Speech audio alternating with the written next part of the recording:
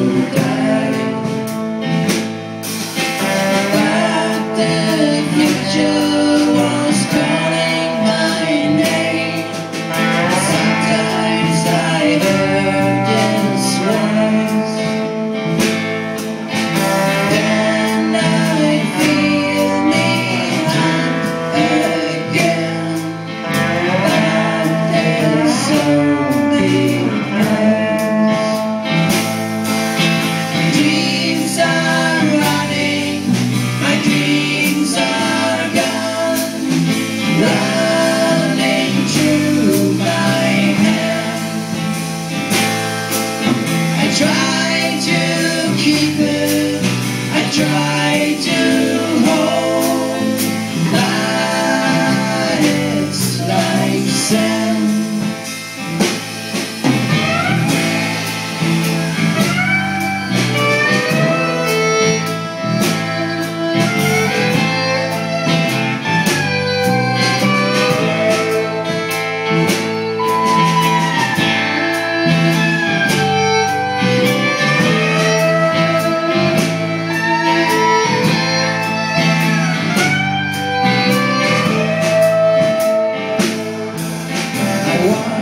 so young